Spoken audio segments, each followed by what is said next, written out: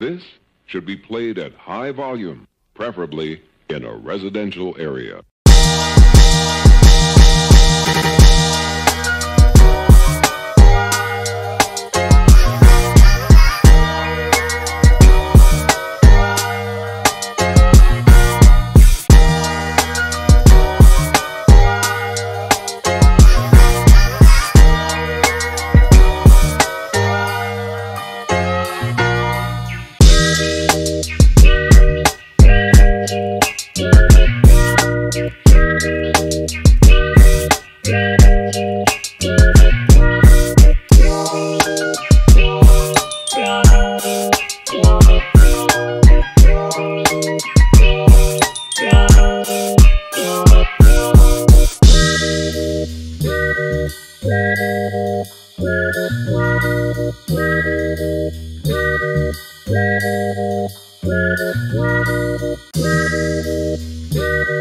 What's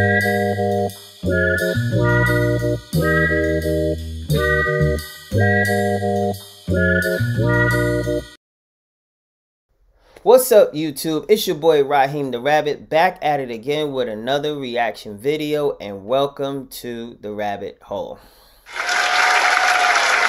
Thank you. Thank you. Thank you. At this time I ask you guys that please hit that like button and smash that subscribe button and hit the notification bell so you can get alerted when I upload new content.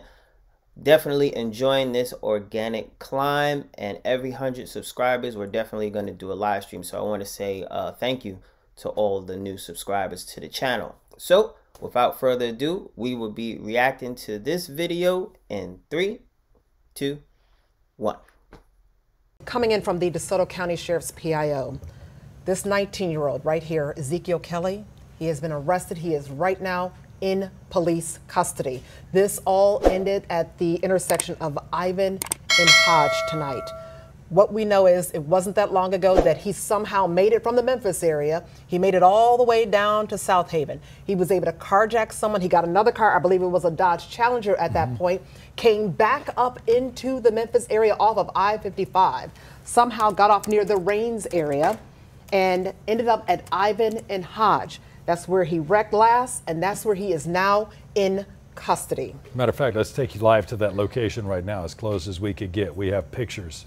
That's okay. Yeah, we can get to this it. This is obviously we'll shaky video. We've got Fox 13. She Kate just Beery, got to the scene. Who just got to that scene? I don't know if Kate's ready or not. Oh, okay. Kate is ready. Kate, I know you just got there, but please just tell us what you see. Walk us through what you see right now. Yeah, Daryl, there are dozens of law enforcement officers all around us. You can see two approaching us right now in bulletproof vests. We're on Sullivan and Hodge. This is about four blocks south of Ivan and Hodge, where police warn the public to avoid. We have that suspect now in custody, that 19 year old shooter who police say was shooting at random locations across Memphis. Again, look at this. We have dozens, too many to count, law enforcement officers all across this road. This is Sullivan and Hodge, about four blocks south of where police confirm or where authorities confirm that that 19 year old shooter is now in custody. This is such a fluid, rapidly evolving situation. It has been all night, but you are confirming that that suspect is now in custody. We just arrived literally 30 seconds ago on scene. There are multiple police officers all around us. You can see they're moving in, but authorities say that that 19 year old suspect is now in custody this neighborhood, you see people standing outside of their cars, standing on their porches, just waiting to learn exactly what happened tonight. I mean, I, you know, as a I've been a reporter for five years. I've never seen this many law enforcement officers on a scene. They're driving all around us. They're walking up and down the street. Police confirm, authorities confirming that that suspect is in custody four blocks north. We have been following multiple scenes all night. We just arrived here. Again, this is Sullivan and Hodge, four blocks south of where police say they took that suspect into custody.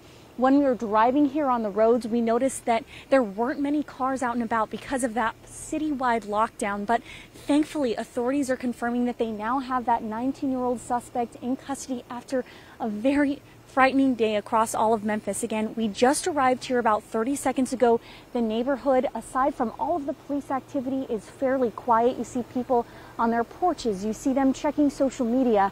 Everywhere we've been today, from the AutoZone, people were just cornering around or watching each other's phones, just watching the suspect and his live stream of the attack. So it's a very fluid situation, but you are confirming that that suspect is now in custody. So surely people in this neighborhood breathing a sigh of relief after authorities warned everyone to shelter in place. Again, we just arrived moments ago. There's still a lot we're working to learn about this investigation, but the good news is is that authorities say that 19-year-old suspect now in custody. Darcy, Daryl.